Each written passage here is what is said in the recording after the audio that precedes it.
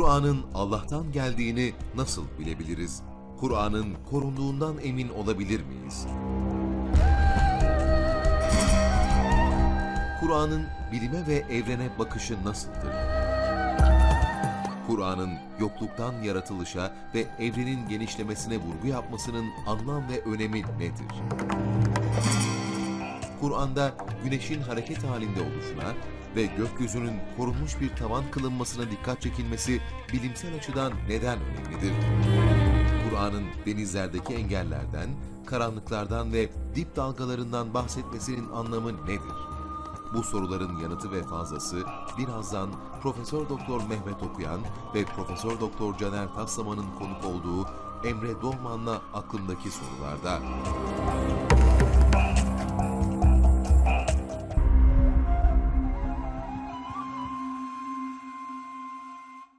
TV8 ekranlarından aklımdaki sorular programımızdan herkese hayırlı geceler değerli izleyenler. Bu geceki programımızda Profesör Doktor Mehmet Okuyan hocamız ve Profesör Doktor Caner Taslaman hocamız bizlerle birlikte. Bu gecenin konusu nedir? Kur'an'ın Allah'tan geldiğinin delilleri nelerdir? Kur'an mucizeleri konusunu ele alacağız bu gece inşallah. Hocam hoş geldiniz. Hoş bulduk. Nasılsınız? Çok teşekkürler hocam. Çok önemli bir konu. O yüzden hemen başlayalım. Vaktimizi iyi kullanalım istiyorum. Ee, özellikle gençlerin bu konuda epey bir kafalarının karışık olduğunu görüyoruz. Çeşitli şüpheler olduğunu görüyoruz bu konuda. Kur'an'ın Allah'tan geldiğinin delilleri olarak bir 12 başlık belirledik ama vaktimiz olursa diğerlerini de konuşuruz. Hocam Kur'an'ın Allah'tan geldiğini nasıl bilebiliriz diye bir soru sorsam böyle genel hatlarıyla e, bu konuda neler dersiniz? Şunu belirtmekte fayda var. Kur'an'ın Allah'tan olduğunu anlamak demek, İslam'ın Allah'ın gönderdiğini olduğunu anlamakla tamamen aynı bir şeydir. Burada tabii bir mantık kurgusu kurulurken birkaç şekilde kurulabilir. Birinci mantığa ben yukarıdan aşağıya mantık diyorum, öbürünü aşağıdan yukarı. Yukarıdan aşağıya mantığı şöyle tanımlıyorum. Allah'ın varlığını diyelim anladık. Onu nasıl anladığımızı başka programlarımızda konuştuk. Oradan bakabilir değerli seyircilerimiz. Allah'ın varlığını anladıktan sonra mesela insanın fıtratındaki e, ihtiyaçları görüyoruz. İnsan her şeyden daha güçlü şekilde ben neden buradayım? Ben nereden geldim? Nereye gidiyorum? Ne yapmalıyım sorularına muhtaç. Kendi fıtratına birazcık e, kulak kabartan bir kimse. Allah'ın varlığıyla beraber bunu anlayan bir kimse otomatikman şunu anlayacaktır. Demek ki Allah beni bu sorulara muhtaç etti. E bu soruların cevabını veren ne? Her insana ayrı ayrı vahiy gelmediğine göre bu soruların cevabı ancak dinin olmasıyla mümkün. Bu da şu demek demek ki Allah insanları bir dine muhtaç etmiş demektir. Peki Allah insanları bir dine muhtaç ettiyse o dinde aramamız şartlar nedir? Bakın Allah'ın varlığını anladıktan sonra diyorum. En başta Allah'ın varlığını tanıtması düzgün bir şekilde ve Allah'ın varlığını merkeze konması, koymasıdır.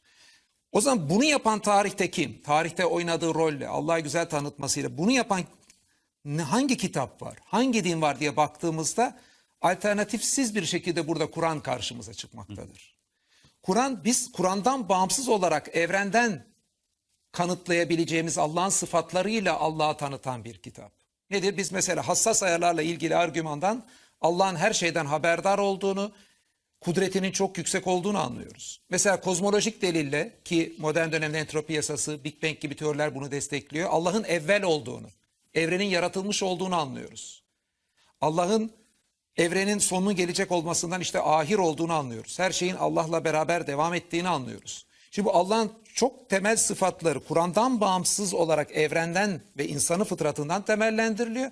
Ama Kur'an bunu en güzel şekilde tanıtmış. Ha, bu bir kere neden Kur'an'a inanmamız gerektiğini çok güzel gösteriyor. Ayrıca Allah'ın insanları dine muhtaç etmesine karşılık insanın e, bu sorularına en güzel şekilde Kur'an cevabı veriyor. Bakın böyle bir Kur'an'dan bağımsız olarak bizi Kur'an'a getirip Kur'an'la buluşturan şeyler var. Evrendeki Allah'ın delillerinden e, hareket. Bir de Kur'an'ın içeriğinden hareketle e, bir inceleme yaptığımızda 7. yüzyıldaki bir insanın veya insan topluluğunun bu kitabı yazmasına olanak yoktur diyebileceğimiz şeyler var. Onlara Onları girmeyeceğim. Mehmet Hocam'la gireceğiz. Ama bunun dışında da birkaç madde sayayım. Mesela Kur'an'ın tarihte oynadığı rol. Kur'an'ın sıfır başlangıç noktasıyla başlayan bir insan tarafından duymasına rağmen o sıfır noktasında başlayan insan hiçbir siyasi gücü elinde bulun durmuyordu baştan. Bir meleğin oğlu değildi. Karun gibi birinin oğlu da değildi. Ekonomik olarak sıfır noktadaydı, siyasi olarak sıfır noktadaydı ve sıfır noktadan aldığı şeyle e, felsefede, bilimde daha bir yüzyıl geçmeden dünyanın en üstün medeniyeti Kur'an'ın verdiği o ivmeyle oluştu. Yani tarihte oynanan böyle önemli roller var. Veya Kur'an en zayıfın elinden tutması gibi ahlaki açıdan müthiş fenomenler var. O dönemin en zayıfları işte özgürlüğünü yitirmişler, fakirler, kadınlar. Yetimleri Kur'an bunların elinden tutup da kaldırıyor. Bunların elinden e, tutup da kaldıracak bir sistem inşa ediyor. Ve baktığımız zaman ahlaki açıdan oynadığı bu rol, tarihteki bu etkinliği, Allah'la insanı buluşturması, fıtrattaki sorulara cevap vermesi ve içeriğinin o dönemde bir insan tarafından söylenmesinin mümkün olmaması gibi birçok özellik hepsinin tek bir kitapta toplanması inşallah fırsat olursa bunları programda açarız. Kur'an'da olması neden Kur'an Allah'tandır dediğimizin delillerinin bir kısmı. Ee, Mehmet Hocam, şimdi bu konuda biliyorsunuz insanların önemli bir kısmının Kur'an hakkında tatmin edici bir bilgiye sahip olmadan fikir sahibi olduklarını görüyoruz. Çeşitli yargıları ve ön yargıları var. Yani Kur'an'dan birkaç ayeti böyle parçacı yaklaşımla okuyup e, Kur'an'ın bütün hakkında böyle insanların bir takım sahip oldukları görüşler var ve bu kafa karışıklığı oluşturuyor. Ya da birçok insan diyor ki yani işte 7. yüzyılda gönderilmiş bir kitap nasıl bozulmadan günümüze kadar gelmiş olabilir? Mutlaka bir şekilde insan müdahalesine uğramıştır vesaire. Şimdi biz bu soruyu size sorsak, yani siz bir tefsir alanında özellikle çalışan bir hocamız e, olduğunuz için ve 40 yılınızı da Kur'an'a adamış bir e, hocamız olduğunuz için Kur'an Allah'tan geldiği nasıl bilebiliriz şeklinde bir soruyla karşılaştığımızda buna nasıl cevap vermeyi istersiniz? Evet. Ee, meselenin her genci ilgilendirdiğini ve onları bastırılmış duyguların sahibi yapmama adına akıllarını ikna edebilecek şekilde e, cevaplarla buluşturmak durumunda olduğumuzu düşündüğüm konulardan biri bu bu. Mesela dışarıdan bakan biri eğer Kur'an'ı tanımıyorsa, okumamışsa veya hani okumuş da onu usulüne göre okumamışsa yani bütüncül bir Kur'an bakışı eğer onda gelişmemişse böyle parça parça oradan buradan birkaç tane cümleden alıntı yaparak eğer okuyor veya bilgisi ondan ibaretse birileri ona öyle şeyler aktardıysa yahut da başka insanların yorumlarını işte Kur'an şöyle diyor, işte Kur'an'a göre şöyle, İslam'a göre böyle deyip de o genelin verdiği bilgilerden hareketle bir Kur'an algısı zihninde gelişmişse bu adam bir gün Kur'an'la gerçekten yüzleştiğinde bir sıkıntının olduğunu fark edecek. Niye? Çünkü bu metin başka bir şey söyleyecek ona. Ona daha önce söylenenlerin bambaşka olduğunu fark edecek. Bazen işte bu savrulmalar onu belli bir noktada durdurmayacak. İyisi mi ben bunun dışına çıkayım böyle bir şey olmaz deme bir, bir, bir alternatif olarak ya da bir e, sığınak olarak insanların önüne böyle şeyler çıkıyor. Biz diyoruz ki kardeşim tamam ben sana bu kitap doğrudur Allah'tandır demeyle ben ben bunu dememle senin bana inanman gerekmiyor. Çünkü bir başkası da Allah'tan değildir diyebilir. Ki diyor Hatta zaten. belki yeryüzü insanlığı noktasında düşünürseniz hani 7 milyar insanın işte 5,5 milyarı buna inanmıyor. Öyleyse yani çoğunluk bir şey diyor diye e, ona itibar edilmeyeceği gibi bir kişi bir şey diyor diye de icabında ona itibar etmeyebilir vatandaş. O zaman metnin içiyle alakalı bizim buna cevap vermemiz gerekiyor. Bu metinle ilgili şeyler söyleyeceğiz. Diyeceğiz ki bu ne zaman indirildi? İnancımız ne biraz önce Caner Hoca'nın da dediği gibi yani 7. yüzyılda yani 611 yılında e, ve 611-632 yılları arasında 22 yıllık yaklaşık 22 yıllık bir zaman zarfında bir metin geliyor Hazreti Peygamber'e. Biz geldiğine inanıyoruz ama adam geldiğine inanmayabilir. Neden inansın ki nihayetinde bu bir kişi Hazreti Muhammed Aleyhisselam demiş ki ben vahiy alıyorum. Evet. Şimdi bu en nihayetinde bir kişinin sözüne itibarı gerektiren bir meseleyle karşı karşıyayız. En başta sadece o dedi böyle bir şey olduğunu. Şimdi şimdinin genci ben neden bir kişinin sözüne inanayım diye karşı çıkabilir. O zaman biz onu bir kişinin sözüdür diye değil, metnin kendisi üzerinden konuşarak ikna edeceğiz. Birileri bir şey diyor diye değil. Bu metin üzerinde düşünelim. Bu metinin içinde ne var ne yok'a bakalım. Bakalım o gün yaşayan bir insanın bilebileceği bir şeylerden mi söz ediyor bu? Yoksa o her şeyi bilen biri mi ona bir bilgi aktarıyor? Çünkü Kur'an-ı Kerim'de Kur'an-ı Kerim'in içeriğini üç ana başlıkta toplayabiliriz e, içerik olarak. Bir tanesi eski milletlere de gönderilen, eski milletlerin de din adına sahip olduğu bir takım bilgilerden oluşur. Kur'an-ı Kerim'de onlar var. İşte namaz var mesela. Diyor ki onlarda da vardı. Oruç onlarda da vardı. Hac onlarda da vardı. Kurban onlarda da vardı. Zekat onlarda da vardı. Yani eski milletlere gönderilen dini öğretiler Kur'an-ı Kerim'de de yer alır. Eğer bozulduysa birileri onu düzeltir Kur'an-ı Kerim. O başka. Genel içerik olarak bir grup böyle. Bir grup o günün Mekke'si ile alakalı ve o günün Medine'si ile alakalı sosyal hayatta devam eden bir takım alışkanlıklar, uygulamalar var. Onlarla alakalı göndermeler yapar Kur'an-ı Kerim. Şöyle yapıyorsunuz, böyle yapıyorsunuz, oraya gidiyorsunuz, şunu uyguluyorsunuz, onun orası doğrudur, bunun burası yanlıştır diye o güne dair bir takım bilgiler verir. Bunlar çok orijinal şeyler olmak zorunda değildir. Ama Kur'an-ı Kerim şeyler. evet yani olan şeyler. Mesela peygamberimize zıharla ilgili bir kadın bir şey soruyor. Peygamberimiz o günün bilgisiyle cevap veriyor. O konuda bir vahiy gelmediği için çok yeni bir şey söylemiyor, söyleyemiyor. Niye? Bilgi yok. Bilgi yoksa o da kendi o toplumun kabulünü ilgili kadına iletiyor. Fakat kadın ısrar edince hani fıtratı ve vicdanı bu söylenene itibar edemediği için Allahü Teala mesela Mücadele Suresinin ilk dört ayetini bu bununla ilgili indiriyor. Yani hayatın içinden şeyler var Kur'an-ı Kerim'de. Bu çok orijinal olmak zorunda değildir. Ancak Kur'an-ı Kerim'in hatta diğer ilahi kitaplardan da en önemli farkı hem metninin hem içeriğinin orijinal olduğu konular var. Yani daha önceki ilahi kitaplarda yok.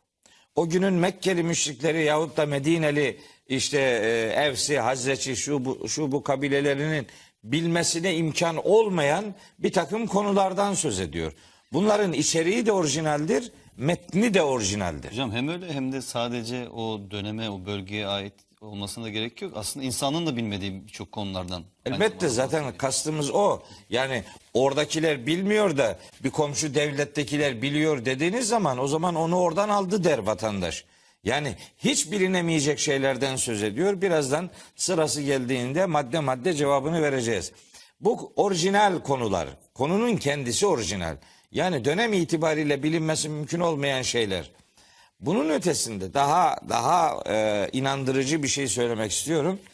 E, tabii ki siz de e, Caner Hocam da ben de başka kardeşlerimiz de bu metne çalış alışmaya, bu metinle ünsiyet kurmaya gayret ediyoruz. Bu metni daha iyi tanımaya gayret ediyoruz. 22 yılda inmiş bir metin var önümüzde.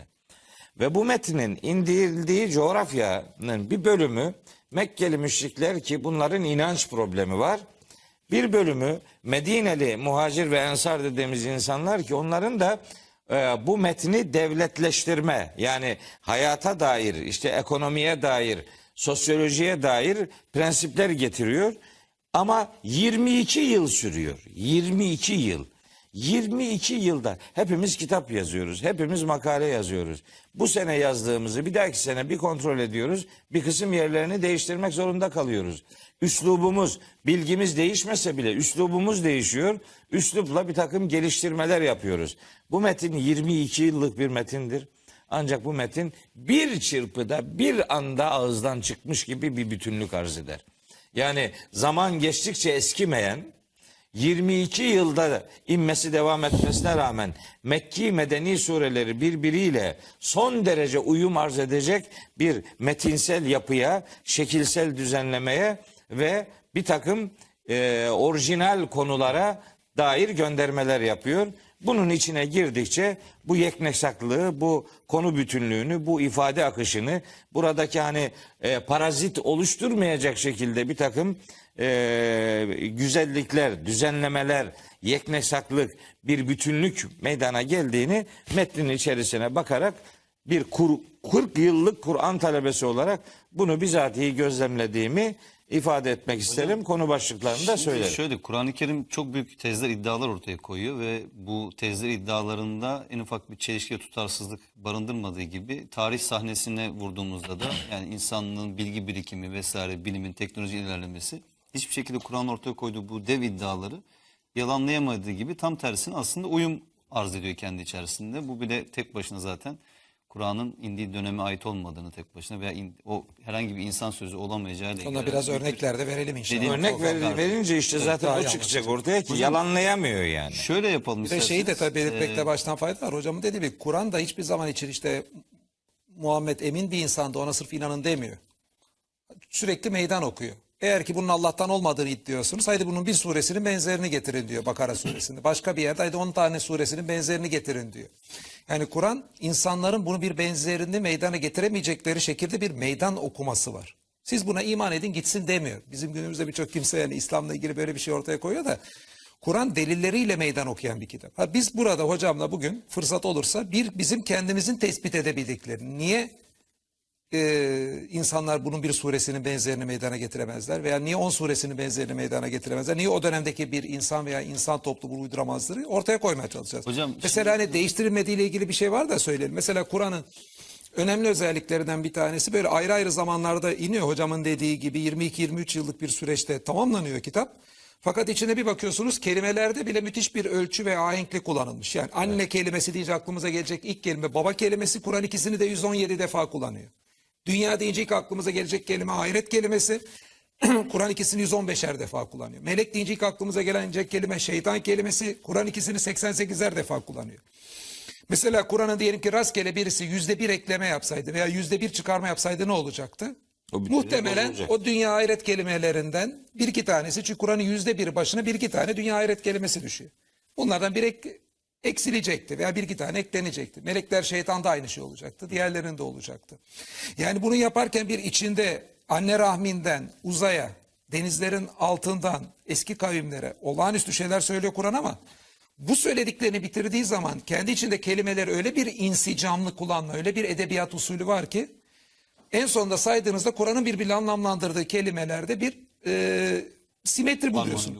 Ve bu birçok kimse bunu sakın hurufilik gibi bir şeyle de karıştırmasın. Hurufilik şudur yani siz Kur'an'dan e, ki kelimelere veya sayılara bir anlam yüklersiniz. Kur'an'dan hiç olmayan bir anlam çıkartırsınız. Yani mesela 11 yıldızı, güneşi ve ayı diye işte Yusuf suresi. e, Yusuf suresinde bahsedilir. Bundan kasıt 12 e, İmam Şiiliğine delil çıkartmaya çalışırsınız. İşte biri Hazreti Ali'ydi güneş, öbürü Hazreti Fatıma'ydı, öbürü 11 imamdı falan dersiniz. Yepyeni bir anlam yüklersiniz. Fakat burada öyle değil. Bu söylediklerimiz Kur'an'daki herhangi bir kelimeye yeni bir anlam yüklemiyoruz. Sadece Kur'an'daki kelimede ne kadar ölçülü ve ahenkli kullanıldığını gösteriyoruz. Bu pek yapılan bir edebiyat usulü değil. Niye? Çünkü çok zor. Hece ölçüsü gibi daha basit edebiyatta heceleri belli bir sayıyla yapmak gibi ölçüler var. Ama bir bakıyorsunuz Kur'an'ın bitiminde Kur'an'ın değiştirilmediğine delil arayanlar için bu şekilde bir matematiksel bir incelik, e, bir edebiyat usulü e, çıkmış. Hocam şimdi biz bu konuları işlediğimizde bazı izleyicilerimizin aklına belki şöyle bir şey geliyor olabilir. Yani e, siz aslında sonradan bilimin ortaya çıkardığı, bulduğu şeyleri işte Kur'an'dan aramaya çalışıyorsunuz gibi veya Kur'an'da olmayan anlamlar, kelimeleri yüklüyorsunuz gibi bir şeyler. Bazen çünkü bu konuda itiraz edilebiliyor. Buna bir cevap vereyim de çok şey bir soru. Ben o cevaptan önce hocam. kardeşim başka bir şey söyleyeyim. Ee, bununla bağlantılı Sizden olarak. Sonra Şunu- geç. Evet. Siz Tabii, şeyi tabii hocam. unutmayın. Ee, Her zaman zevkle dinlerim hocam. Estağfurullah rica ederim. Sadece tam burada hatırlatmak gerekiyor. Çünkü Tabii, tabii. Kerim e, böyle Allahu Teala'nın tarihin 20 yılına e, müdahalede bulunsun da ve o 20 yılın fotoğrafını çeksin diye gönderilmiş tarihsel bir metin değildir.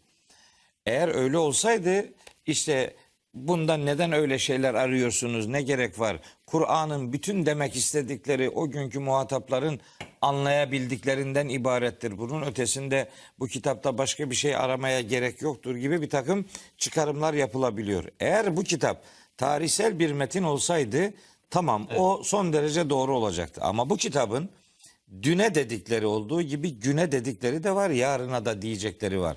Öyle olunca bu kitabın içerisinde bugünün insanının anlamak durumunda olduğu, yarının insanının da anlayabileceği bir takım hedef, ufuk bilgiler var. Bunları elde etmenin en güzel yolu işte bilimsel çalışmalar ortaya koymaktır. Bu kitapta bilimselliğe yer yoktur demenin bir alemi yok. Bu kitap bilim kitabı değildir. Elbette fizik, kimya, biyoloji kitabı değildir ama ona dair ufuk bilgiler veriyor, hedef bilgiler veriyor. O hedef bilgilere ulaşmak için efendim bugün bunu Müslümanlar niye yapmadı? O Müslümanların kabahatidir, Kur'an'ın kabahati değil. Kur'an herkesin önüne bir gök sofrası açar. Kim ona itibar ederse likülli abdin münibin der Kaf suresinde. Yönelen her kul için burada alınacak dersler vardır. O itibarla tarihsel bir metin değil. Güne dair sunumları da var, yarına dair sunumları da var. O itibarla tarihe, hükümleri, mesajları, tarihin bir dönemine hapsedilecek bir kitaptan söz etmiyoruz. Hocamın dedikleri çok önemli. Yani Kur'an'ı tarihin bir dönemine hapsetmeye çalışanlar dikkat edin. Kur'an'ın içindeki olağanüstülüklerden en çok onlar rahatsız oluyor. Çünkü ne? Kur'an'ın o dönem hapsedilemeyeceğini gösteriyor bunlar. Ama Kur'an'ın o dönem hapsedilemeyeceğini gösteren bir sürü şey var. Onlara da gerekirse gireriz. Deniz kenarında yaşamayan peygamberimizin defalar peygamberimize vahyedilen bir kitapta defalarca denizden bahsedilmesi gibi.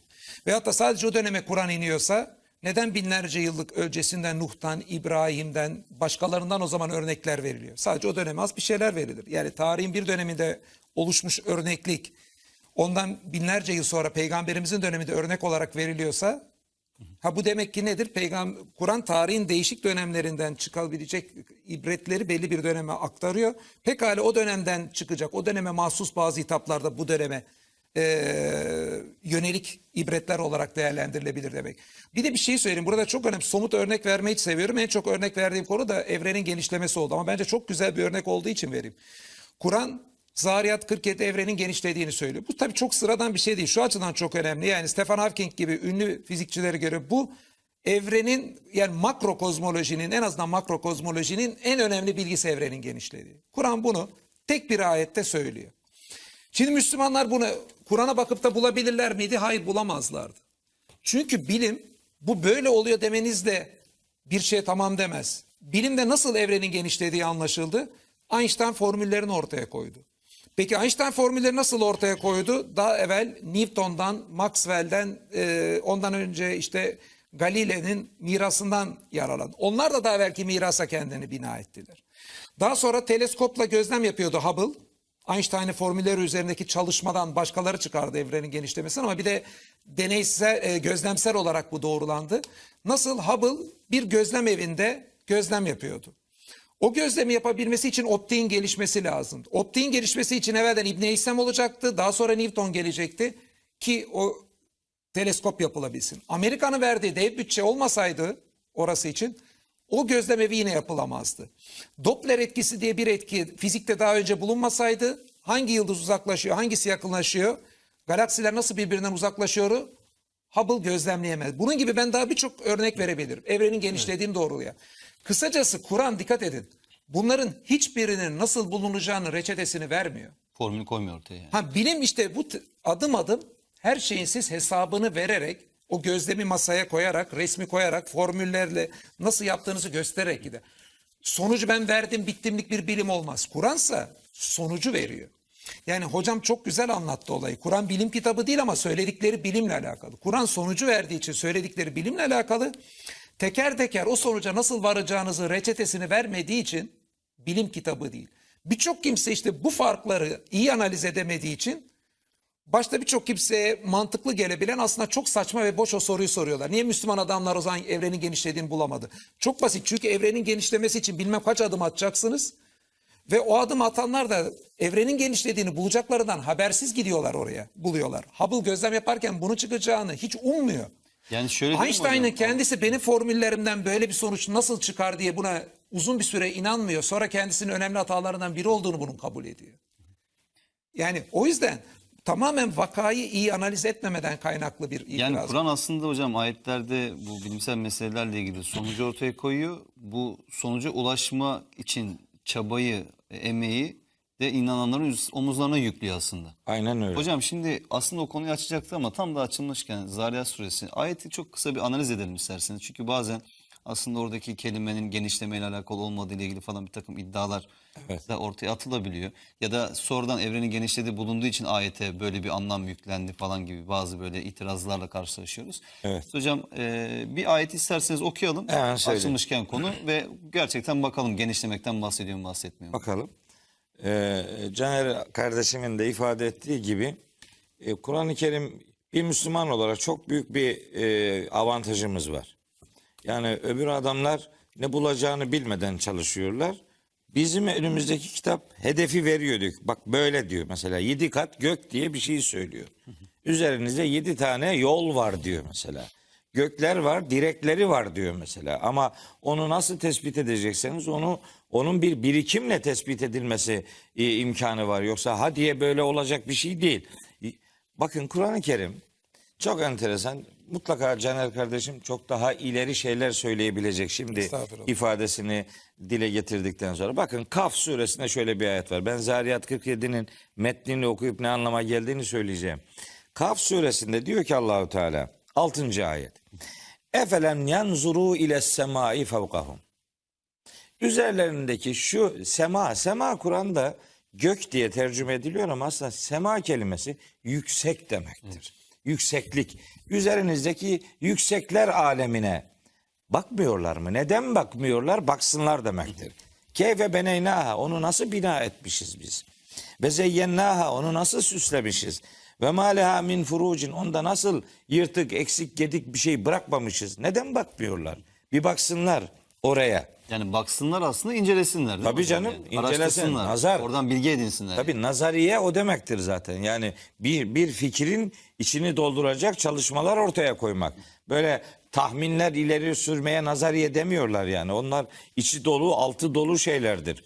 Göklerle alakalı öyle diyor. Sonra diyor ki vel erda yere yere de baksınlar. Niye bakmıyorlar? Medednaha nasıl onu genişlemesine yaymışız ve elkayna fiha ravasiye onun içerisine nasıl ağırlıklar yerleştirmişiz. Yerin içerisine ağırlıklar yerleştirmekten söz ediyor.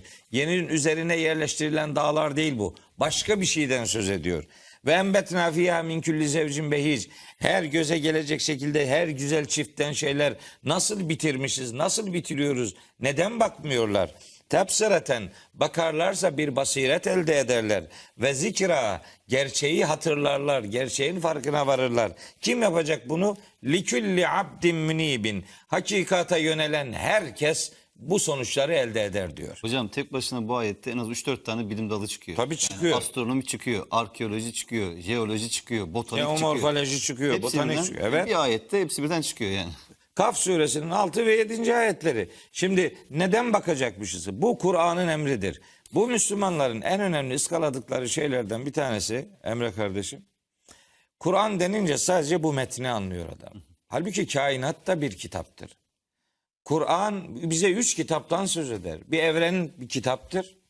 Kur'an bütün ilahi vahiyler bir kitaptır. İnsan da onların muhatabı olan insan da bambaşka bir kitaptır. Çünkü bu kitap dediğimiz şey ayetlerden oluşan bütünün adıdır. Evrendeki göğünden, yıldızından, ayından, güneşinden, bitkisinden, tarlasından, hayvanına varıncaya kadar.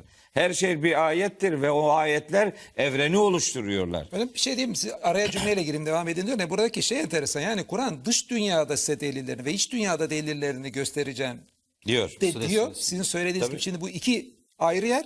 Aynı zamanda kitaba da gidin diyor. Yani Kur'an aslında bizi üç noktaya gönderiyor. Fakat burada da ne oluyor? Kur'an'ın gönderdiği yerden çıkan deliller aslında Kur'an'ın doğruluğunu da ispat ediyor. Nasıl ispat ediyor? Tabii ayet onu söylüyor. Evet yani yani Kur'an bir kendi iç bütünlüğünde kendi kendini bir tasdik eden kitap. Dış dünyada söylediklerinin doğruyla tasdik eden kitap. insan psikolojisi, insan ruhuyla ilgili söyledikleri tasdik eden kitap. Evet.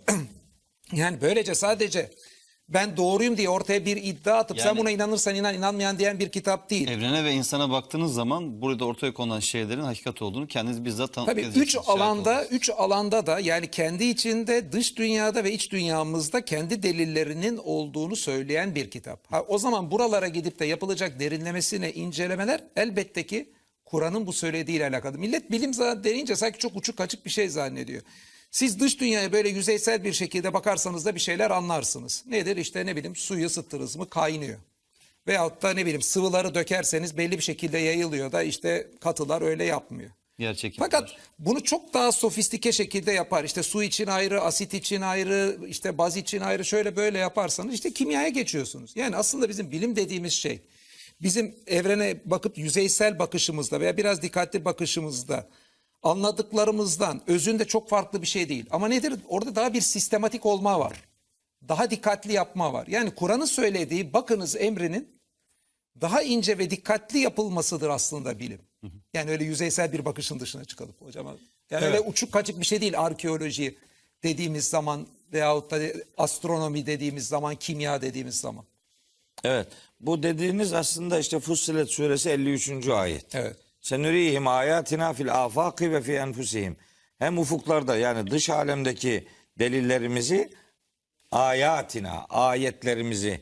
Problemlerden biri de zaten bu kavramların aslında nelerden söz ettiğini, içinin nelerle dolduğunu doğru takdir edememe sorunu. Problemlerden biri bu. Ayet deyince adam sadece Kur'an cümleciyi zannediyor. Öyle değil. Dışarıdakiler de ayet. Ufuklardaki de ayet. İnsanın kendi içinde de ayetler var. Zariyat suresinde öyle diyor. Ve fi enfusikum ve fil ardı ayatun lil mukinin. Arzda kesin iman etmek isteyenler için nice deliller vardır. Ve fi enfusikum sizin kendinizde deliller vardır. Ve fi semai rizkukum semada rızkınız vardır. Yani bizi dış dünyaya, dış aleme ve insanın kendi iç alemine doğru seyahat ettiriyor. Seyahatinin, seyahat ettirmesinin sebebi hani şöyle bir bakın Tamam bak neymiş demekten ibaret değil. O ayette bir gerekçe var.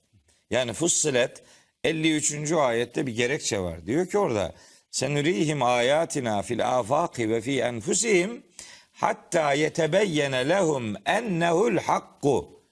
Onlara bakıp inceledikten sonra anlaşılacak ki bu kitabın dedikleri gerçektir. Yani bu kitabın amacı ufuklarla, insanla vahyi buluşturmaktır yani. Yani bunlar ne ilginç şeylermiş e, demesidir insanın. Değil. Tam tersi Dert buna bu kitabın etmesi. her dediğinin doğru olduğunu bir anlamda delillendirmektir.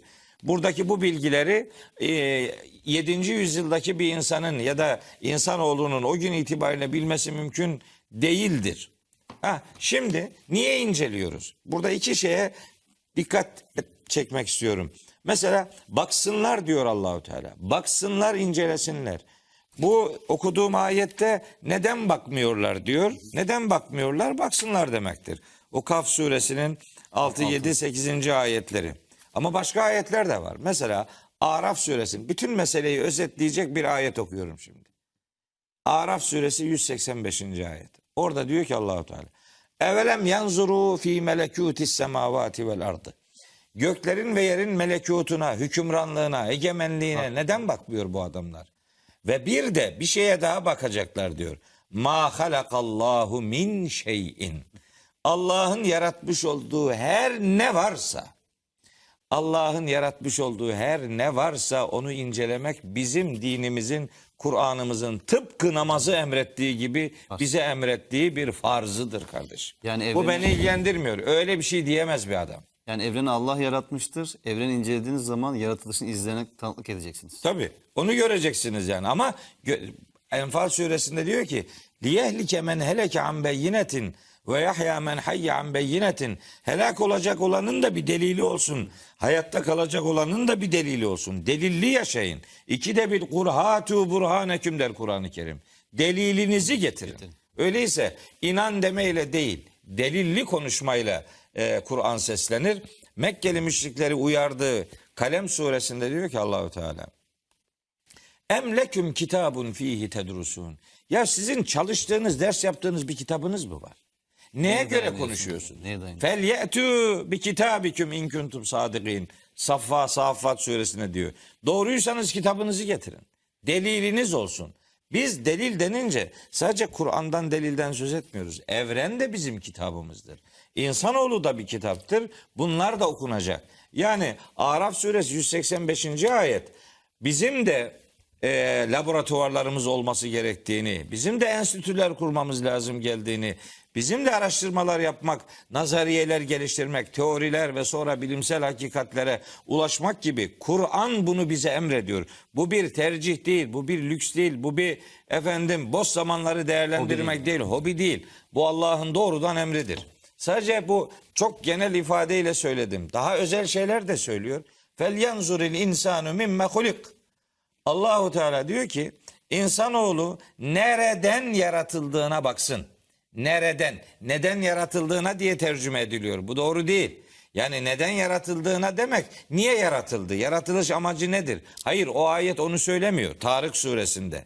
Nereden yaratıldığına bir baksın.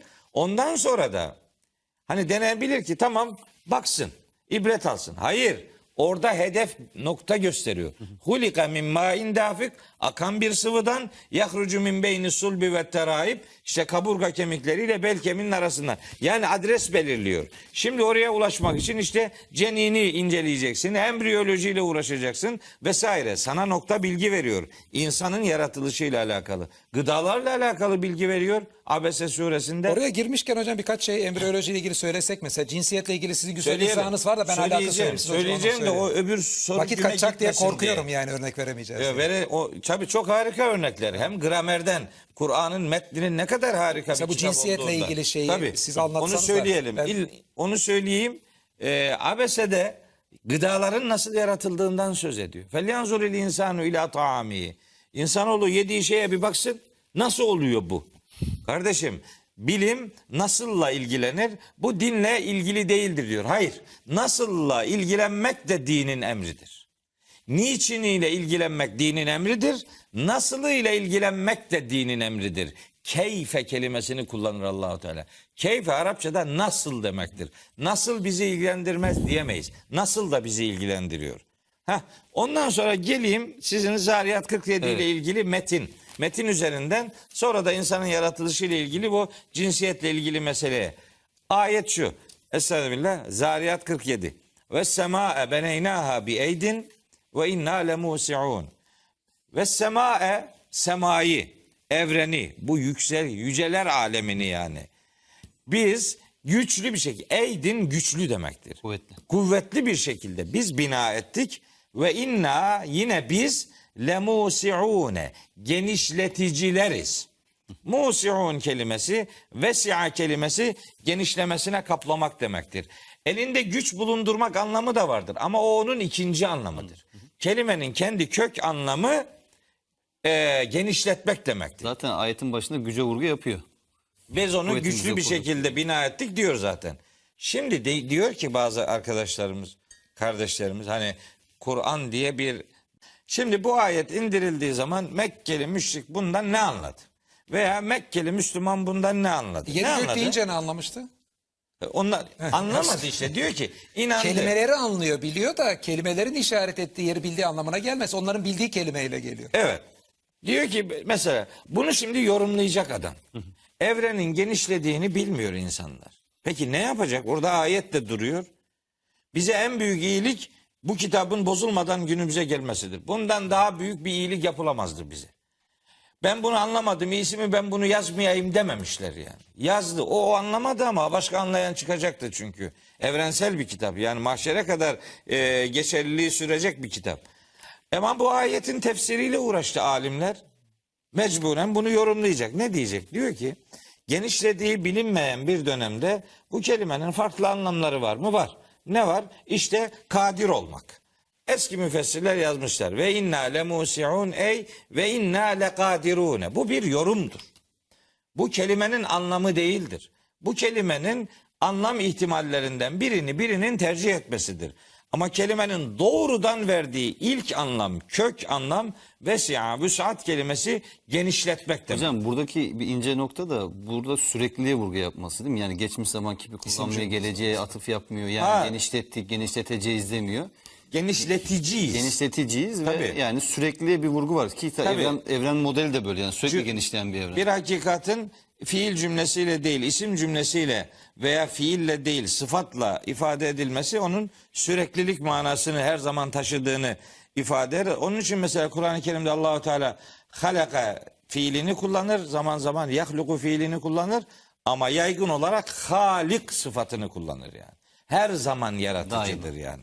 Daima yaratıcıdır. Yani o başlayan biten bir şey değil bu anlamda. Eski alimler bunu nasıl anladılar? Onlar yanlış anladı diyen yok. Hiç öyle bir şey demiyoruz Kendi yani. şartlarında anlamaya Tabii yani o dönem eskiler ne yaptıysa hep boştur hiç bizi Evrenin ilgilendirmiyor. Öyle bir şey demedi kimse Genişlemeden demez. önceki tefsirlerde de genişledi anlamı verilmiş. Tabii onun zaten diyor. Bu nasıldır bunu bilmiyoruz diyor. Ama Bilmemesine bunun rağmen anlamı vermiş. bu. Kelimenin anlamı bu. İlle bir şey diyecekse yorum yapmış. Demiş ki bizim buna gücümüz yeter. Eyvallah ama bugün bunu bir Müslüman alim, bir ya, fenle, bilimle uğraşan bir Müslüman alim grubu, alimler, kadını erkeği yok, cinsiyeti, milliyeti yok. Bunlar bu hedef bilgileri esas alarak onun uğrunda çalışmalar yapabilirler. Yapsalardı keşke. Yapılma. Yapıldığı zamanlar da var. Hakkını yemeyelim. Yani bu kültüre, bu bilimsel düzeye gelmede Müslümanların katkısı hiç de öyle azımsanacak türden bir katkı değil. Ama bugün hani o şimdi vagon durumuna düşmeyi kaldıramıyoruz. Şimendifer olmalıydık. Biz bunu sürüklemeliydik. Sürükleyemedik. Kabahat kitabımızda değil. Kitabımız bize hedef ve ufuk bilgiler veriyor. Onların peşinden düşmek bizim görevimizdir. Bu bir lüks değil, bir tercih değil, hobi değil. Bunlar Allah'ın tıpkı namaz kılma, oruç tutma görevi gibi bizim üzerimize yüklediği bir görevdir. Hocam e, hazır evrenin genişlemesi meselesi açılmışken aslında onun bir evveline gidelim öncesine. E, yokluktan yaratılma vurgusu Kur'an-ı Kerim'de. Yine Mehmet Hocam'dan da o konuda e, yine desteklerini rica edelim. Yani Kur'an'ın yokluktan yaratılışa vurgu yapmasının anlam ve önemi nedir? Yani İslam açısından da evrenin bir başlangıcın olmasının e, önemi nedir? Şimdi evren yokken yaratıldığı Kur'an'da geçtiği gibi bir de her şey bitişikken ayrıldığı da geçer Enbiya suresi 33'te. Yerle gök bitişikken onları ayırdığı geçer. İşte rat gibi ifadelerle bu bitişiklik verilir. Sonra ayrılmaya işaret edilir. Ee, bu iki şeyde yani yokken başlangıcın olduğu veya başlangıçta her şeyin bir arada olup açıldığı aslında bugün yani Big Bang teorisi dediğimiz teoriyle gayet güzel bir şekilde ortaya konmuş vaziyette. Hatta bunun tarihini de birçok kimse e, ortaya koyuyor. 13,8 milyar yıl önceye giden bir başlangıç var. Bu tabii ki çok önemli bir şey. Birkaç açıdan çok önemli. Şimdi Kur'an'da genelde evren yokken Allah'ın yarattığına işaret edildi. Allah'ın evvel sıfat, sıfatı verildi. Evren o sıfatın verilemeyeceği için önemli. İkincisi Enbiya suresi 30. ayette nokta bir ifade. Her şey bitişik olup ayrılması gibi bir şeye dikkat çektiği için e, önemli. Ve bu da dediğimiz gibi yani bir evrenin genişlemesini geriye say- sardığımızda da ortaya çıkıyor. Bunun dışında evrenin başlangıcı bu şekildeyse olması gerekenler var. Fizikçiler bunun modelini ortaya koyuyorlar. İşte evrenin başlangıcında bir radyasyon var. Her tarafı yayılması lazım. Gaz aşaması. Gibi daha birçok şeyler var. Tabii onlara detayına girmeyeceğim. Televizyondaki birçok seyirci için yorucu olur onlara takip. Başka konuya giremeyiz. Ama birçok bilimsel açıdan beklenen şey var. Eğer model buysa olması gereken e, fizik biliminde de bunların aşağı yukarı hepsi doğrulanmış vaziyette. Ya bu açıdan Big Bang teorisinin detayları tartışılsa da ama bir başlangıcın ve her şeyin bir arada olup da oradan genişlemenin başladığı bir an oldu. Tartışılmayacak şekilde fizik dünyasında temellendirilmiş bir e, husustur. Peki bu ne zaman ortaya kondu? İşte 1920'li yıllar kondu. 20'li Genişlemesiyle beraber e, zaten bulunan bir şey. Bu da bana göre tabii ki olağanüstü bir şey. Yani Yani, Kur'an'da hocam- geçenin doğrulanması dışında dikkat edin. Yani tarih boyunca materyalistler, hep var materyalistler. Yani ateizm yeni ortaya çıkmış bir şey değil. Evvelden işte Demokritus'ta, Lucretius'ta var. Mesela e, 19. yüzyılda sonra çok etkili olmuş materyalist işte Marx ve onu takipçileri var. Yani birçok materyalist var. Günümüzdeki materyalistler de aşağı yukarı o tarz bir model özlemindeler. Nedir bu model? Ezeli olarak madde var. Yani Allah yerine pekala madde ezelidir diyelim diyorlar. Burada tabii ki bunların bir şeyin ezelden biri var olduğunu gösteremezsiniz ama bir şeyin başlangıcı varsa onun ezeli olmadığını gösterebilirsiniz. Maddenin başlangıcı olduğunu göstermek ezeliliği tezinin çökmesi demek. Şimdi Kur'an'ın bu ayetlerinin dikkat çektiği husus bu açıdan da çok önemli. O tezi çökertiyor. Yani evrenin başlangıcı olduğunu göstererek materyalistlerin, ateistlerin çok önemli tezi olan evrenin ezeliliğini de çökertiyor. Yani Kur'an'dan bir mucize çıkmasının yanında ateistlerin önemli bir dayanak noktasının yanlış olduğunun gösterilmesi var burada. Ve yine biz Einstein'ın formüllerinden de biliyoruz ki eğer ki maddenin bir yerde başlangıcı varsa madde ancak zamana bağımlı olarak anlamlıdır. Z- maddenin içindeki yer çekimi ve hız gibi parametrelerden zaman etkilenir. Yani zaman bağımsız maddenin içinde çıktığı bir fon değildir.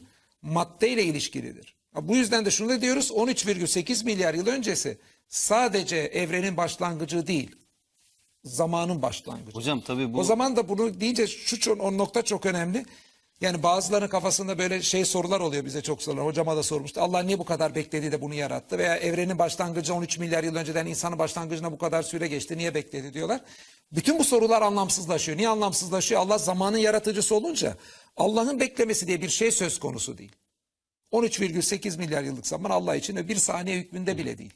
Hocam bu soruyu özellikle sordum çünkü yani felsefeyle ilgilenen okumalar yapan izleyicilerimiz mutlaka vardır, bileceklerdir. Ee, felsefe tarihine baktığımız zaman muhtemelen en önde gelen tartışmalardan bir tanesi bu yani Tanrı mı ezeli, madde mi ezeli? Evet. Ve yani Kur'an burada Tanrı'nın ezeli üzerine yaptığı ısrarlı vurgu ve e, maddenin de sonradan yaratılmış olduğu ile ilgili, yokluktan yaratılmış olduğu ile ilgili vurgusu aynı zamanda modern bilimin de bu konuda e, Kur'an'ı haklı çıkarmış olması bütün paradigmayı değiştiren bir şey. Yani materyalist felsefeyi temelinden aslında yıkan bir anlayış oluyor. Hocam Ben bir şey söyleyeyim Tabii bu ki arada.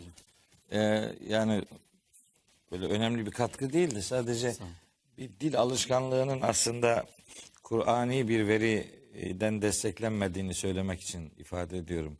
Kur'an Allah'ın ezeli olduğunu söylemez. Kur'an Allah'ın evvel olduğunu evvel oldu. söyler. Başlangıçsız yani. Evet. Yani e, Allahu Teala'nın kadim olduğunu söyler. Yani Allah öncesizdir der. Bu şimdi ezel ve ebed kavramları Allah'a nispet ediliyor. Allah ezelidir ve ebedidir. Ezel ve ebed kavramları Allah için kullanılmaz. Onun için kullanılan özel kavramlar. Evvel, Ahir. ahir, e, efendim baki, e, işte kadim, kadim, kadim ve baki kelimeleri kullanılır. Dolayısıyla yani hatta bazen böyle Türkiye'de oynayan bazı dizi filmlerde de mesela böyle kelimeler kullanılıyor filan. O çok e, altı dolu bir kullanım değil. Biz hiç olmazsa biz e, Allah için evvel ve kadim demek durumundayız. E, ahir ve baki demek durumundayız. Ezel ve ebed kelimelerini bu anlamda Kur'ani olmadığı için e, bir kardeşlerime hatırlatmış da olayım. Çok güzel yerinde oldu hocam. Güzel bir- Yani çok böyle bir hatırlatma oldu. şöyle Allah ezeli değil mi diyor. Allah ebedi değil mi filan. Hani Kur'an'dan konuşuyorsak bunun Kur'anca karşılığı bu. Onu ifade edeyim.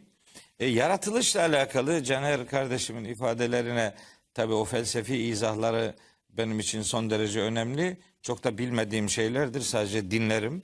E, hiç oraya böyle burnumu sokmam, anlamam. Onun anlattığı adamların adını ancak biliyorum. Ben öyle çok fazla derinlemesine bildiğim şeyler değil. Fakat bildiğim bir şey var. Allahu Teala bir defa her şeyin yaratıcısı olduğunu söylüyor. Her şeyin yaratıcısı olduğunu söylediği ayetlerde kullandığı kelimelerle iki konu var. O konuda kullandığı kelimeler farklı. Mesela Allah bir şeyi bir şeyden yaratıyorsa onun için halaka fiilini kullanıyor. Haliku diyor. Halaka min, halaka min. Mesela Bir şey- topraktan yaratıyorsun. Evet, bir şeyi bir şeyden yaratmaktan söz eder. Suret vermek gibi bir şey oluyor. Gibi, Gerçi yani- musavvir kelimesi de var. O da var. Musavvir de Var var. ayrı da var yine. O da e, yani bir şeyi bir şeyden yaratmak. Mesela en şeye inşa etmek. Bir şeyi bir şeyden inşa etmek. Mesela işte ceale bir şeyi dönüştürmek. Şimdi ben onun için Tam yapmak karşılık geliyor gibi. e, biz evet yani yapmak olan olanla alakalı bir tasar, tasarruftan söz ediyor. Şimdi mesela bana çok sorulur, size de mutlaka soruluyordur. Allah neden yaratıcıların en güzelidir diyor. Tebarakallah ahsenul halikin diyor mesela. Yaratıcıların en güzeli. Öyleyse başka yaratıcılar da mı var? Adam halaka kelimesinin aslında vardan var etmek manasına geldiğini bilseydi vardan var eden insanlar da var yani.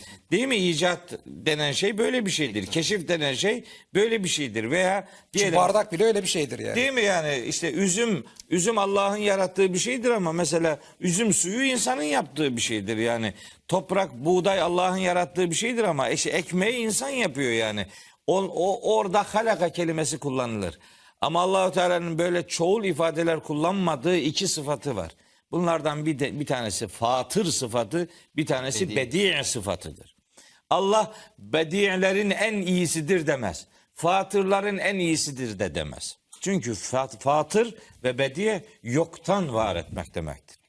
Yoktan var edici olan kudret sadece Allahu Teala'dır. Onun için mesela bedi kelimesini bir insanla ilişkili kullanmak son derece hatalıdır. Çünkü bedi Allahu Teala'ya mahsus sadece ona ait tıpkı fatır gibi sıfatı gibi özel bir sıfattır. Yani yoktan var etmekten söz edilince o Hocam e, bu katkıyı anne vereyim yani. rahmime unuttuk. Anlatacağız dedik. İstiyorsan siz başlayın cinsiyetten de devam edelim. Onu Tamam. anlatacağız dedik unuttuk.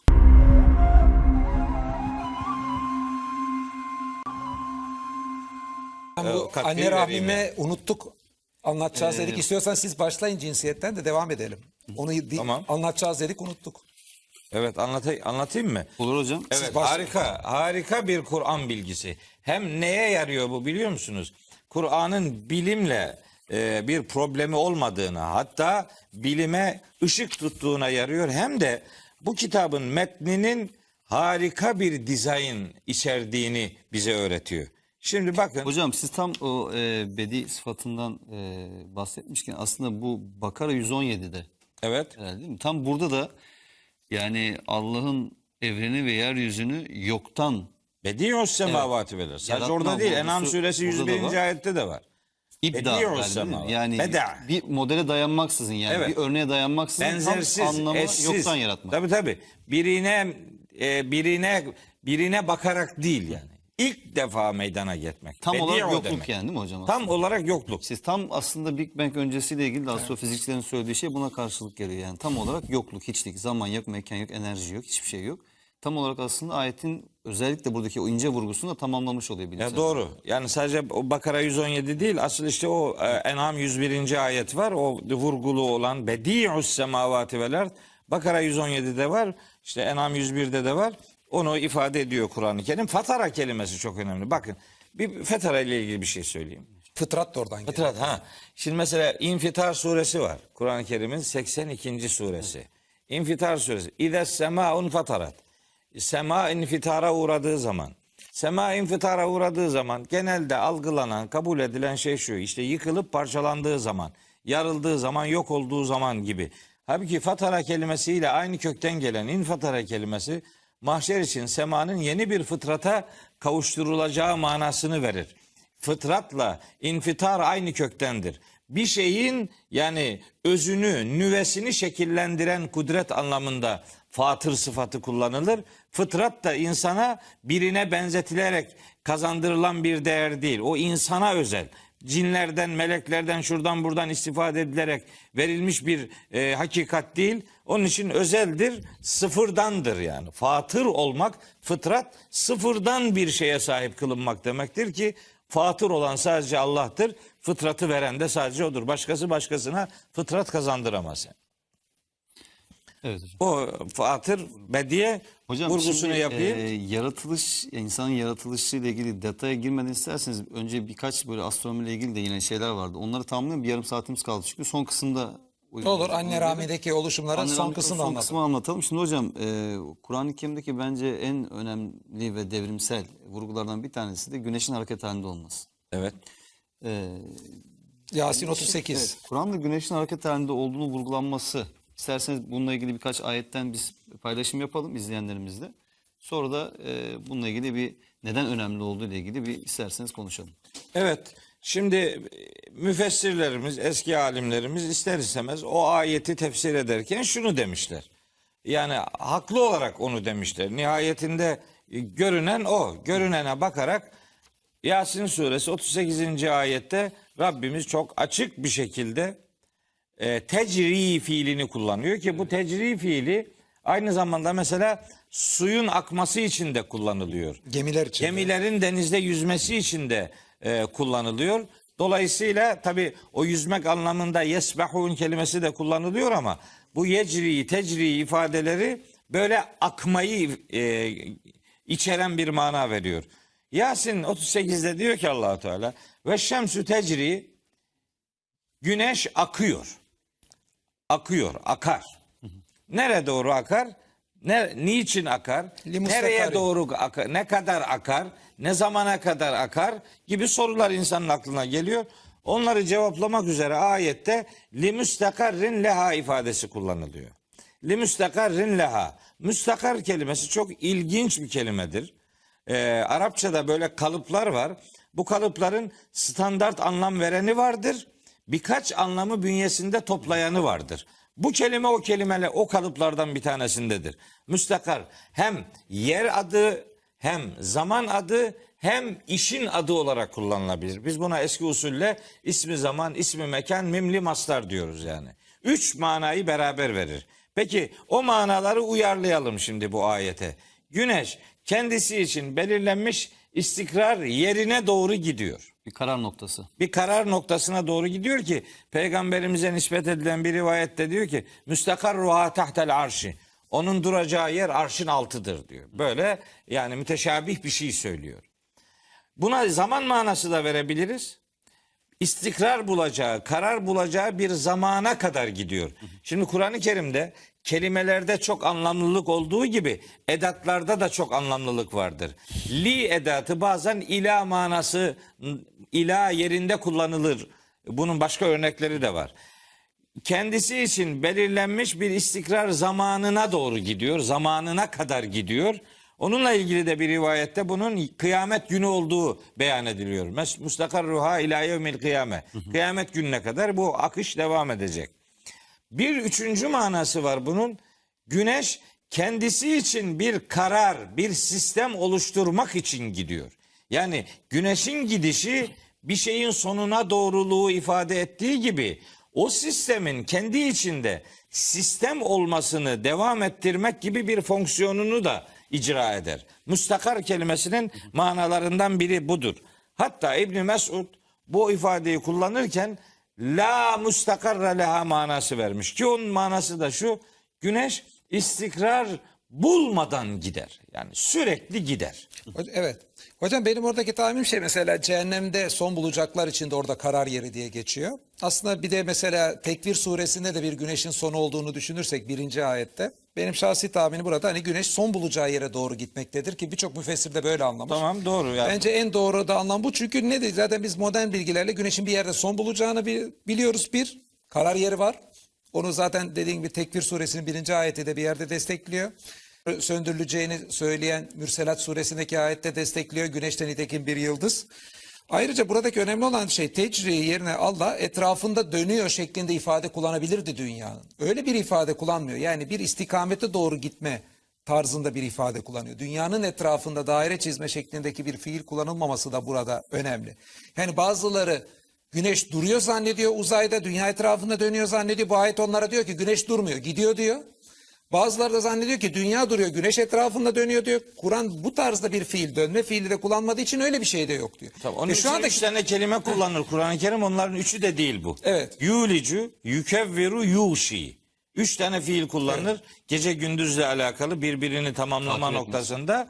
Ama bu bu güneşin hareketi için Evet. kullanılan fiil Hocam bu şimdi üçünden burada biri de iki değil. şey var. Ee, bir tanesi Kur'an-ı Kerim'deki ayetlerde e, her kelimenin tam da aslında olması gerektiği özellikle kullanılması.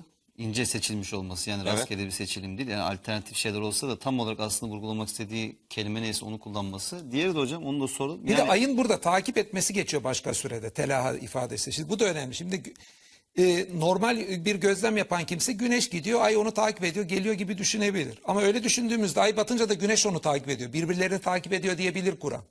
Böyle bir ifade kullanmıyor. Ayın güneşi takip ettiğini diyor. Şimdi biz astronomi açısından baktığımızda da olay böyle. Nedir? Çünkü demin dediğimiz gibi güneş evvela şöyle bir şey olarak gidiyor. Gerçekten bir hedefe doğru. Buradan dünya etrafında dönüyor. Yani güneş dünya güneşi takip ediyor. Ay da dünyanın etrafında ve güneşin etrafında olarak aslında ay güneşi takip ediyor. Güneş nereye giderse ay onu telaha ediyor, takip ediyor. Yani orada ayın güneşi takip ettiğinin söylenmesi de aslında bunun yanında ince bir ifade. Hocam şimdi burada özellikle bunun şu- bilime aykırı neresi var? Ha, Bilime Mesela- aykırı değil. Bilime Yani uyan bu. işte- Mesela tersi dense oymaz. Mesela güneş ayı takip ediyor denseydi böyle uygun olmazdı. Tam işte Yani hocam konuyu açma sebebim o zaten. Yani şunu ifade etmeye çalışıyorum. Ee, Caner Hocam da daha iyi bilecek de tarih boyunca biz baktığımız zaman Hani ya dünya merkezli bir evren modeli var. İşte Aristoteles sonra Batlamyus'la birlikte miras alınan Kopernik Kepler sürecine kadar. E, o Kopernik Kepler'le güneş merkezli bir evren modeli var ama yani her iki evren modelinde de ya dünya sabit güneş etrafında dönüyor ya güneş sabit dünya etrafında dönüyor. Tabii. Şimdi 7. yüzyılda yani Kur'an-ı Kerim'in hareket halinde bir güneşten bahsetmesi ki bu çok yeni bir bilgi insanlık için. E, muzevi yönünü bir yöne doğru hareket eden Evet, yani kısır döngü kısır daire çizen değil bir yöne doğru hareket eden olması çok muhteşem. Yani kendi dönemindeki tartışmaların hiçbirini kabul etmiyor. Yeni bir model koyuyor aslında burada ortaya Kur'an-ı Kerim. Ki e, bir insan sözü olsa bilgi birikimi neyse o dönemde insanlar neyi kabul ediyorlarsa güneş ve ayın konumu durumu ile ilgili onun üzerine bir ortaya tez koyar ama bu iki tezin de dışında hareket halinde bir e, evren hareket halinde bir güneş sisteminden bir de bunların bir Ta- Tarık suresinde aslında göğün hareketinden de söz Evet. ediyor. Ve semai zatir rac'i. Dönüş sahibi olan bir zaten gök ifadesi Samanyolu galaksisi de zaten aynı Evet. zamanda hareket Sadece güneş değil yani. Diğer gezegenlerde de içerecek başka ayet de Tarık zaten suresinde var. yani uzay çok rahatlıkla bir e, hareketler ve e, alanıdır desek yani uzayı çok önemli bir tarif etmiş oluruz. Yani uzayda duran sabit zaten hiçbir şey yoktur. O yüzden Hocam- o ayet de bence muhteşem bir ayet. Biraz vaktimizi iyi kullanma adına hızlandırayım. Birkaç soruda en azından sormuş olayım. Ee, gökyüzünün korunmuş yok, tavan yok. kılınması. Bir, bir saniye, ben bir şey daha söylemem lazım. Yani bu hep öyle çok teknik gitmesin. Ee, yani izleyenlere çok hoşlarına gideceğini düşündüğüm bir şey söyleyeyim. Ee, Caner Hocam dedi ki ay güneşi tilavet eder. Orada kullanılan fiil tela fiilidir. Bu bize çok tanış bir fiildir. Bu fiil Kur'an'ın tilavet edilmesiyle yakından alakalı kavramlardan bir tanesi. Ütlü diye geçer. Ütlü ma uhiye ileyke minel kitap. Kitaptan sana vahyedileni tilavet Tilavet et diye. Bir Müslümanın Kur'an'ı tilavet edişi aslında ayın güneşi tilavet edişi gibi olmalıdır. Yani bir Müslüman Kur'an'ın etrafında dönmelidir. Yani bir Müslümanın yörüngesi daima Kur'an'la ilişkili olmalıdır. Ayın güneşi tilavet etmesi aynı zamanda onun ışığını güneşten alması demektir. Bir Müslümanın Kur'an'ı tilavet etmesi de ışığını Kur'an'dan alması içindir. Ay güneşi tilavet ediyorsa önce kendisi aydınlanıyor, sonra ışık yansıtıyor. Bir Müslümanın da din adına önce Kur'an'dan aydınlığını alması, önce kendisinin aydınlanması, sonra çevresini aydınlatması demektir. Tilavet manasız ve ruhsuz bir seslendirme değildir. Tilavet vahyi hayatın merkezine alan, vahyi önde olup kendisi arkadan onu takip eden son derece bilinçli bir okuma biçimidir. Yani kainat kitabındaki gezegenlerin, yıldızların, gezegenlerin birbiriyle ilişkisini tarif ettiği Şems suresinin ikinci ayetidir o. Şems suresinin ikinci ayetinde ayın güneşle ilgisini ifade eden o telaat fiili, tilavet fiili bu ümmetin Kur'an'la ilişkisini de düzenlemesi lazım gelen bir içeriği bize hatırlatır. Ondan kopuk okumama adına Yani söyleyeyim. bilimsel bir hakikat ancak bu kadar güzel e, Korunmuş tavana gelebiliriz hocam.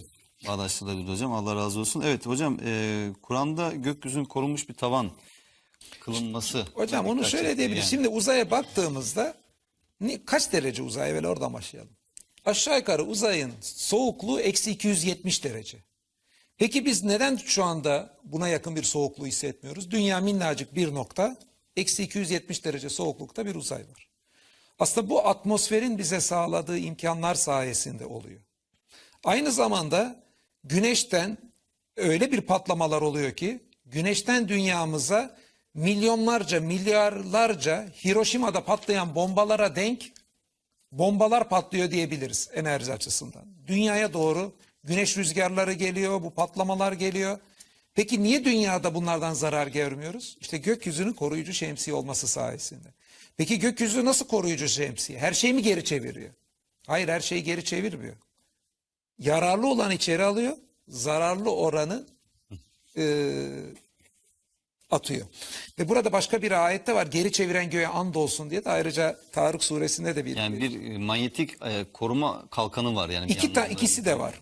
Dünyanın etrafında. Yani manyetik koruması aslında hocam biraz da dedi yerin aslında merkezinde en merkezi en ağır kısmının olduğu kısım. Ağır metallerin olduğu kısım.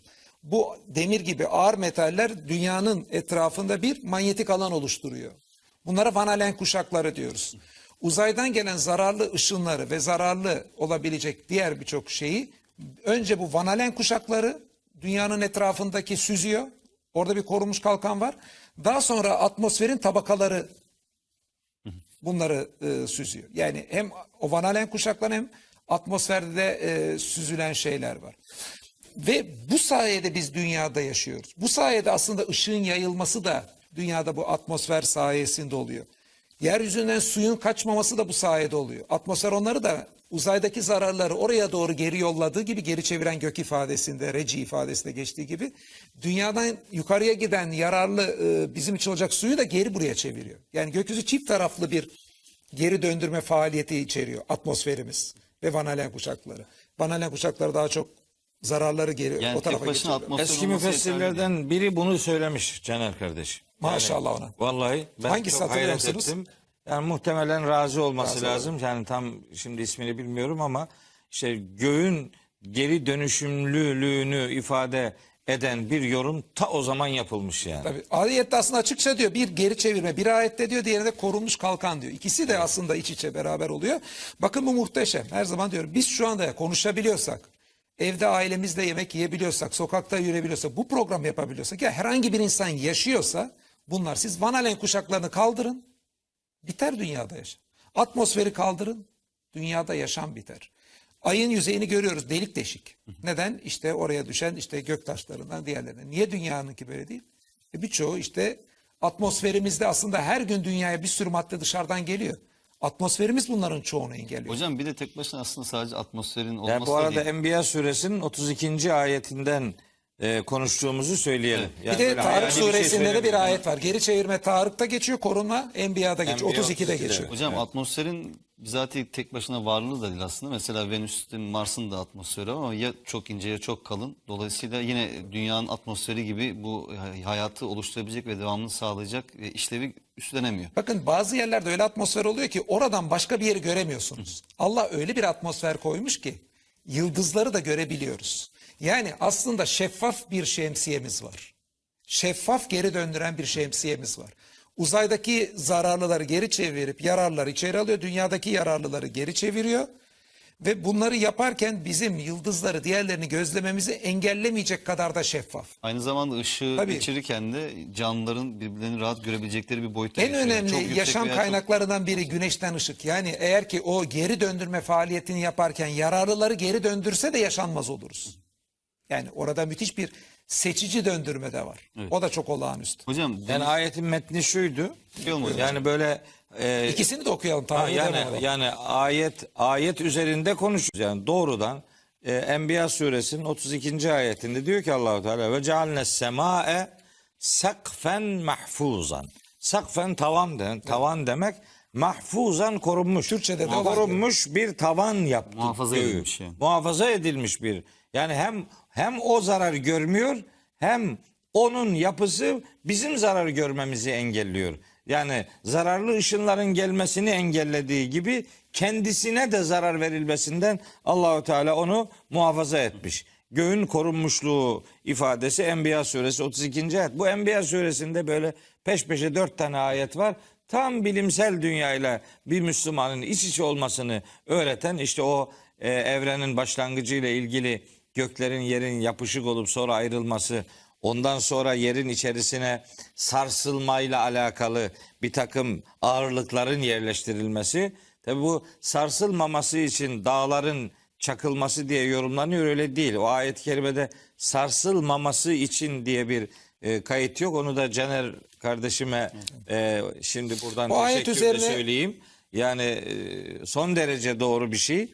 Yani Allah'ın olumsuz bir cümle olarak söylemediğini biz olumsuz bir manada algılayarak dağların ya da ağırlıkların depremi engellediği sonucunu e, çıkarmaya gayret ettik. Oysa öyle değil. İşte bu ağırlıklar makul ölçülerde sarsılmayı sağlasın diye yerleştirilmiş ağırlıklar. Tabi dağ kelimesini burada kullanmıyor doğrudan ağırlık olarak kullanılıyor. Onun da bir hikmeti olabilir tabii. Revasiye yani dağ demek bir yorumdur, bir benzetmedir ağırlığıyla alakalı.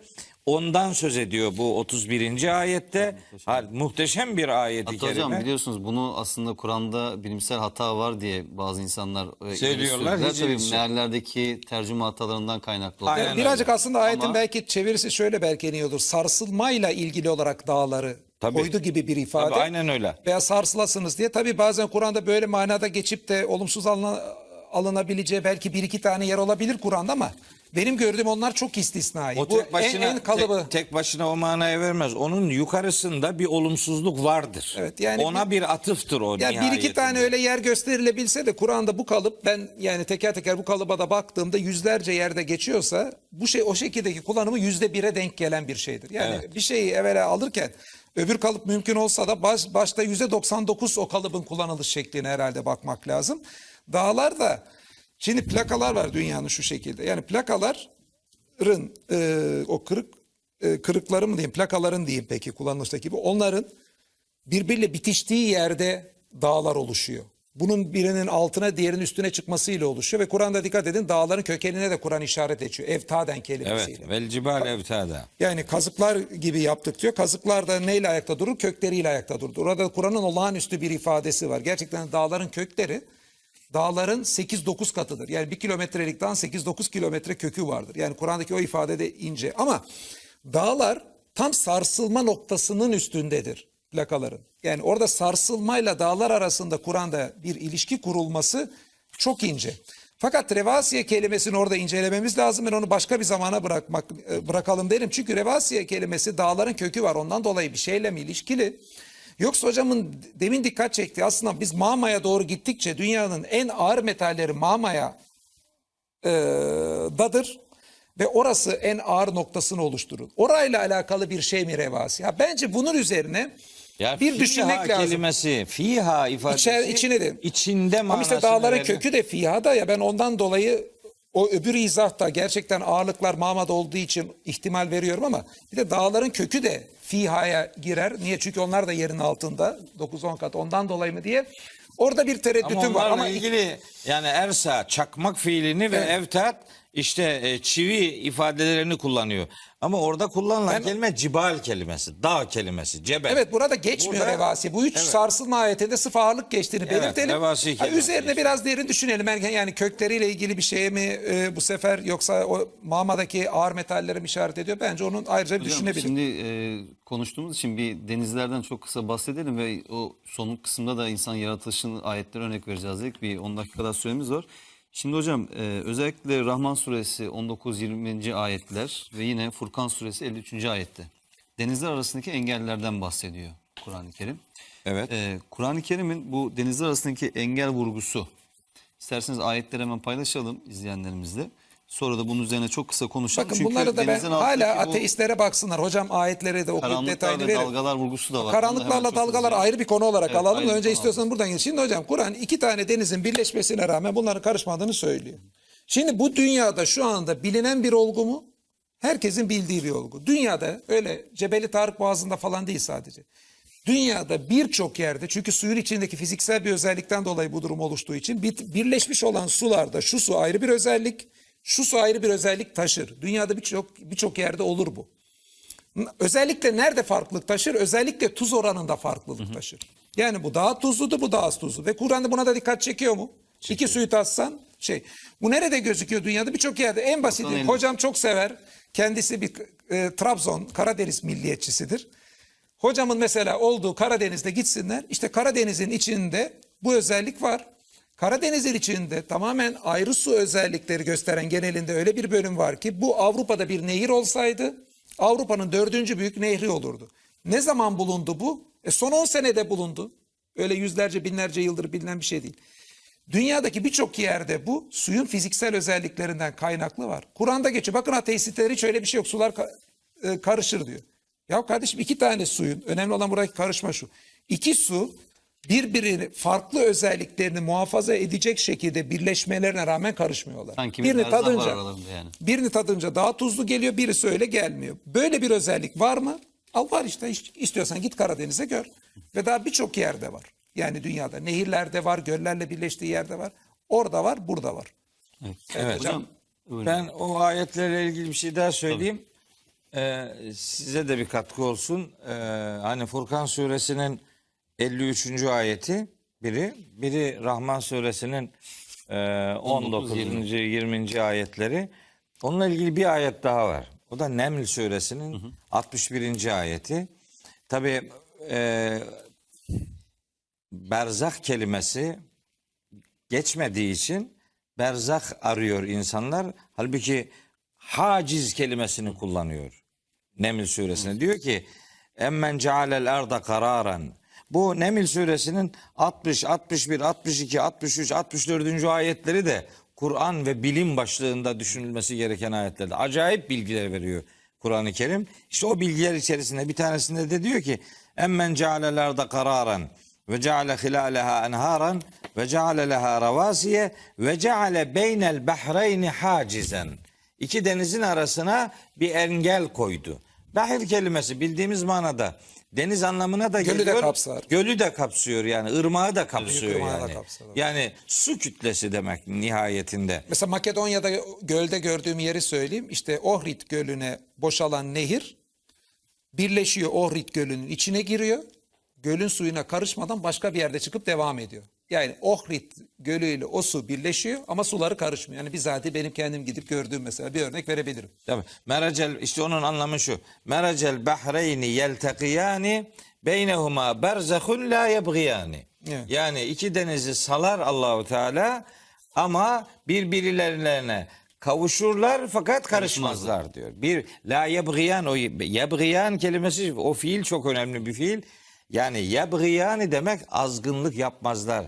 Yani Allah onu nasıl yarattıysa varlığını öyle sürdürür. Allah'ın yarattığı yerde dururlar. Allah'ın yarattığı özellikte dururlar. Kendi özelliğini, kendi fıtratını, kendi hidayetini aşarak başka bir başka bir mahiyete dönüşmezler gibi de öyle bir anlamı var. İkisinin arasında berzah olduğunu söylüyor. O engel yapısı, suyun yapısıyla alakalı bir engel.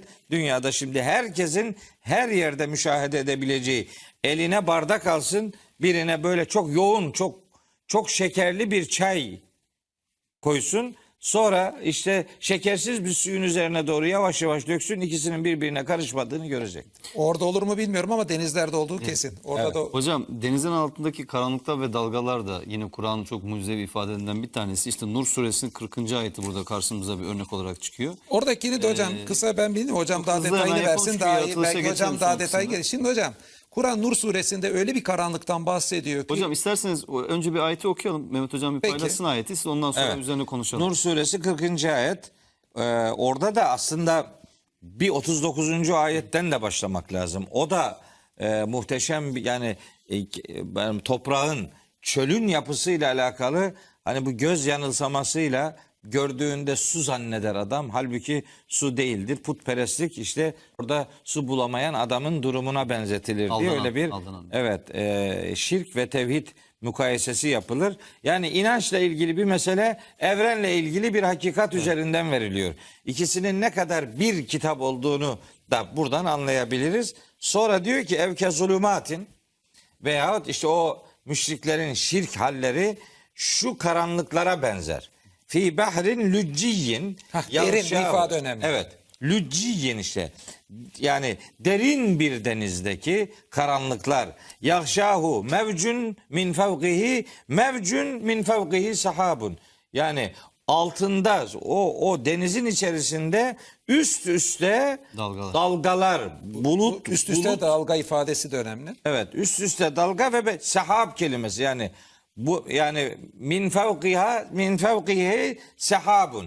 Hani o kadar karanlık ki üzerindeki simsiyah bir buludun siyahlığına ilaveten denizin içerisindeki üst üste karanlık karanlıklar var. Denizin içinde Dalgalar üst var. üste karanlık dalgalar var. Yani karanlık üstüne karanlık, dalga üstüne dalga. dalga ayrıca Derin deniz vurgusu. Konu şirk olduğu için de üzerinde de daha üzerinde de simsiyah bulutlar var diyor.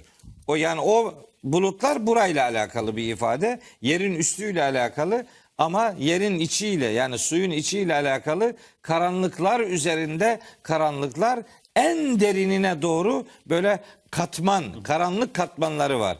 Şimdi bu Bilimsel olarak gider insan ispat eder, bulur vesaire. Bizim benim burada en çok dikkatimi çeken böyle bir ayet indirildiğinde yani bunu ne peygamberimizin ne Mekkeli müşriklerin ne Medineli Müslümanların denizin içerisindeki bu bu yapıyı Hiç, ya çoğu deniz görmemişti. sahilde yaşamayan yaşasa bile deniz biz de sahilde yaşıyoruz şu anda ama denizin içiyle alakalı mesela bu bilgiyi denize bakarak görmeniz mümkün değil. inceleyerek görmeniz mümkündür. Hocam bir de bir insan karanlıkla ilgili örnek vermek istese yani hiç denizlerin altında örnek vermek gelir mi aklına?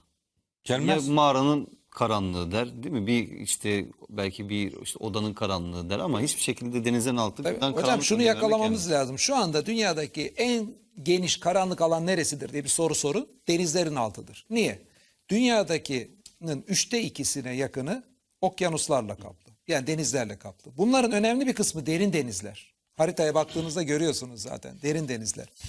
Ve birkaç yüz metreden sonra denizlerde artık ışık günün ortasında apaydınlık zamanda bile e, derin denizin dibine inmez ve denizlerin altı o yüzden kapkaranlıktır. Günün, 200 metre Yani altı günün ortasında yani nasıl bir karanlıktır tam ayette geçen benzetme ayet bir benzetme yapıyor. Yani elini kaldırsa bile göremeyeceği bir karanlık. Yani şöyle yapınca çünkü biz bu elimizi bile buradan e, ışık fotonların vurmasıyla görüyoruz. Yani o kadar oraya ışık parçacığı inmez ki görmeleri bile mümkün değil. E, tam işte ayetin dediği gibi ha bugün bu bizim için gözlemsel veri. Neden gözlemsel veri? Hani optikten biliyoruz zaten gözlem yapmadan da anlarız ama aynı zamanda gözlemsel veri işte denizaltı ile birkaç yüz metre aşağı indiğimizde bunun böyle olduğu gözüküyor. Günün ortasında görüyorsunuz ki kapkaranlık. Hani bazıları bir de şunu diyorlar bazen diyorlar ki ya yarın ya bilim değişirse o zaman ne yapacaksınız bunların yanlış olduğu anlaşılsa. Bilimse Bugün- değişmez. Heh, şöyle diyelim. Bugünkü bunlar söylediklerimizin yüzde doksanı bizim kullandıklarımız artık bizim için bir resime dönüşmüş vaziyette. Yani denizin altına indiğimizde bir karanlık olduğunu böyle çok komplike bir teoriden anlamıyoruz ki. Gözlemsel olarak anlıyoruz.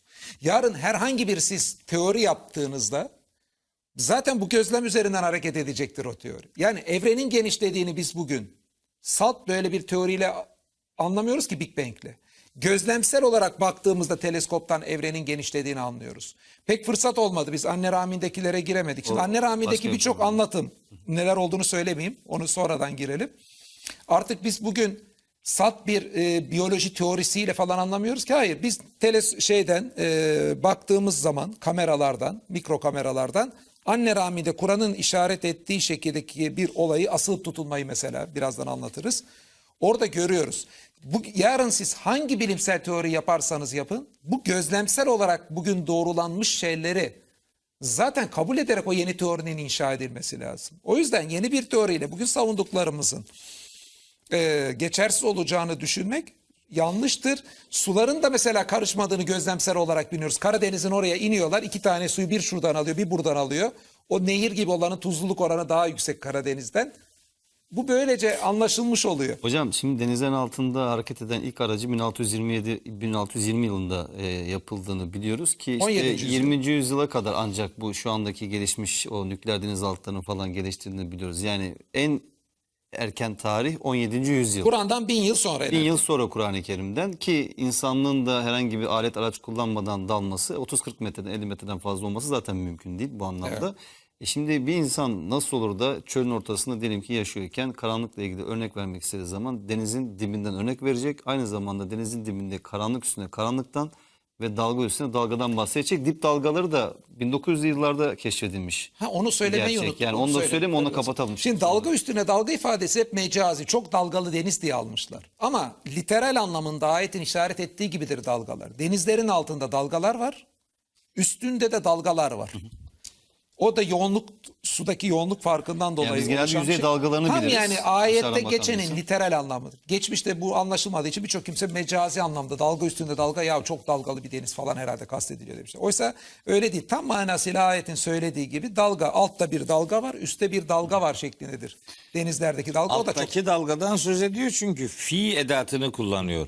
Ala edatını kullanmıyor. içinde. yani. Suyun üzerinden bahsetmiyor.